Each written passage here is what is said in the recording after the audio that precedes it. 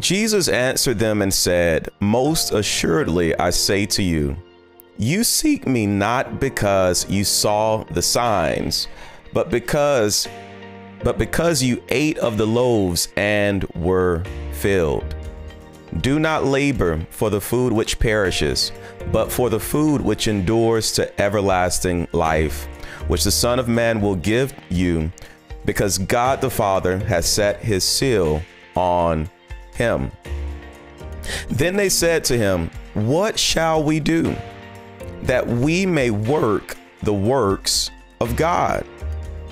Jesus answered and said to them, This is the work of God, that you believe in him whom he sent. That St. John chapter 6, verses 26 through 29 out of the New King James Version.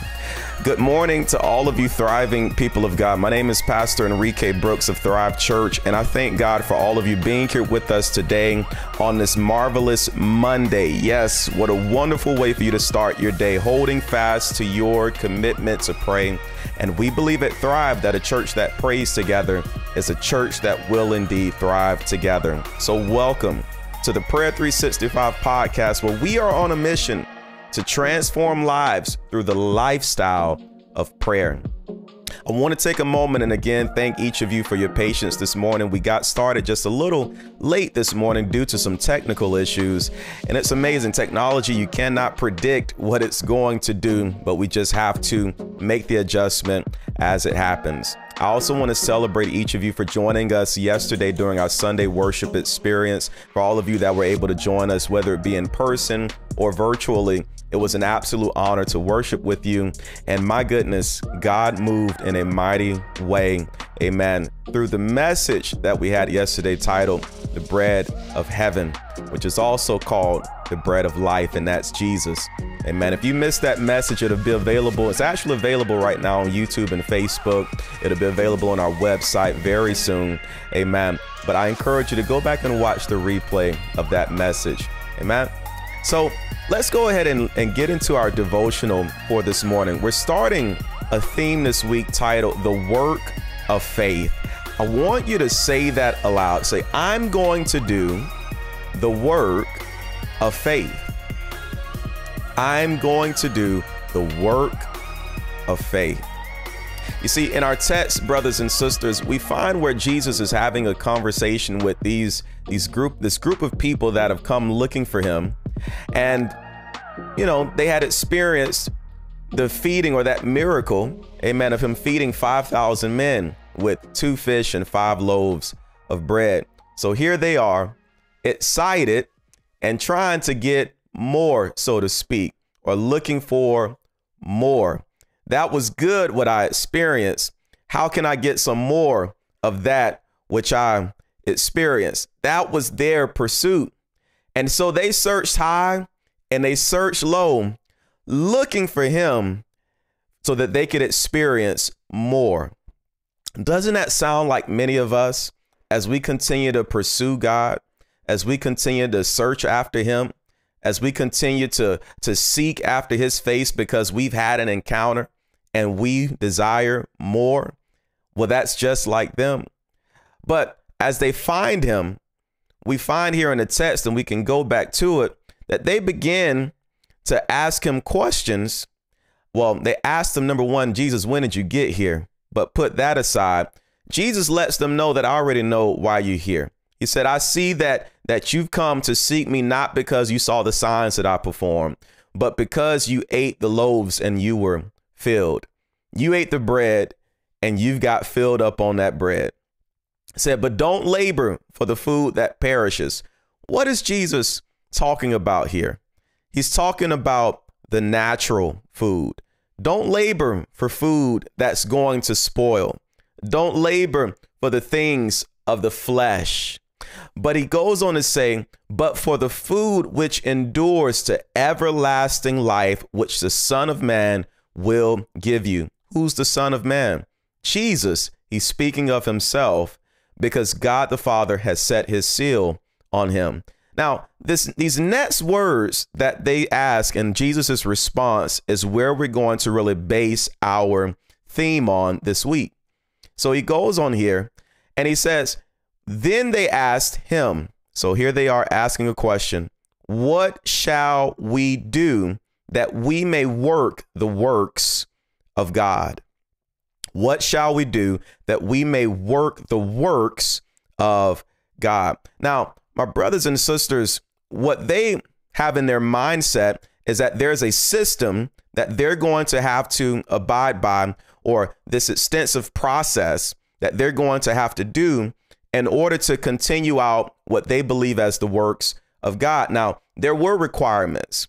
Prior to Jesus's coming, his initial coming, there were requirements that the Jews had to abide by. There were certain steps and protocols that were absolutely necessary, but they were anticipating this long process or this extensive work that they were going to have to do.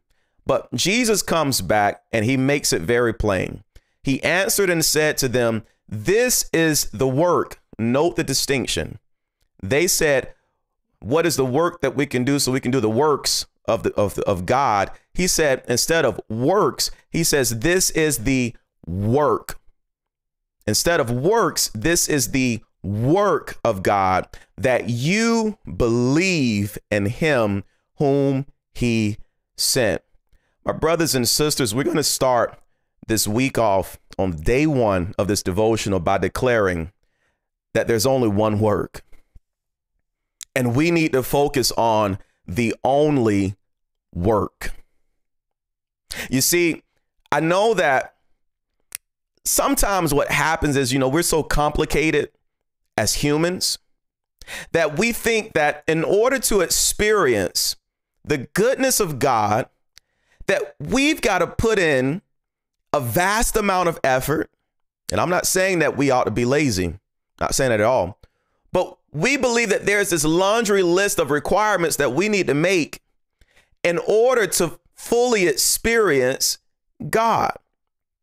And we think that, well, I've got to be on this committee, I've got to serve on that board. I'm not truly living in the will of God unless I have a collar around my neck and I don't want to get in trouble this morning. I just hope I'm helping. But essentially, if we're not careful, we can fall in the line of works when Jesus is letting us know that there's only one work. The only work that we should be committed to, that we should be focused on, is believing Him. I want you to say that aloud. The only work is that I believe. Hallelujah. The only work is that I believe. It's not that I improve people with my scriptural knowledge. It's not that I, or excuse me, impress people. There we go. It's not that I impress people with what I know about the scripture. It's not that I impress people with how good I can dress. It's not that I try to hide, come on here, and, and, and try to cover up my sin and the things where I'm wrong and my faults. The work, hallelujah, is that I believe. That's the only work. Glory. Today, I hope, in my prayer by the end of this theme, I hope that it starts today, that you would be relieved of the pressure that you've put on yourself. I like to call it the pressure to perform because that's perhaps what you've been doing.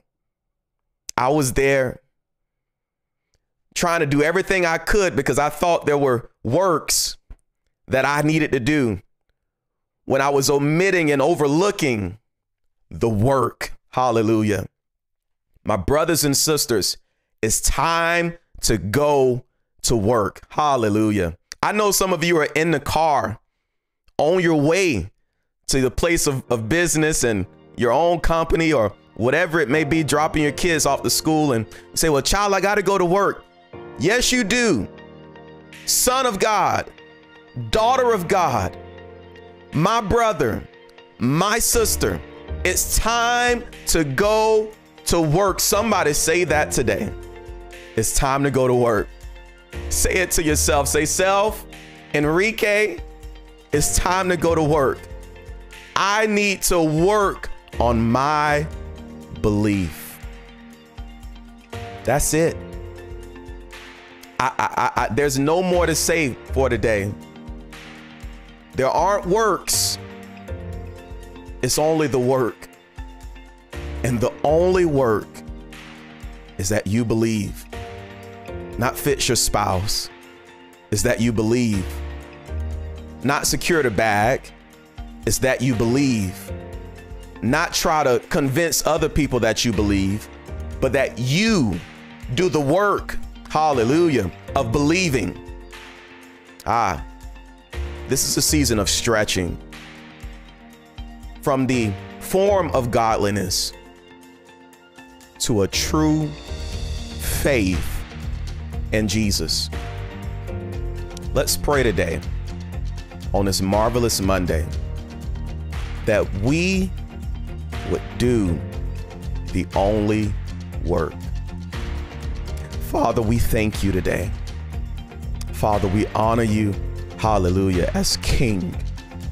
We honor you as our Lord. We honor you as the Alpha and the Omega. We honor you as our Creator. We honor you, hallelujah, as our Redeemer. Father, glory to your name. Lord, we honor you today. We honor you as the provider. Hallelujah. We honor you as the healer. We honor you as our peace. Father, we honor you. Glory. Thank you, Father, as our strong tower.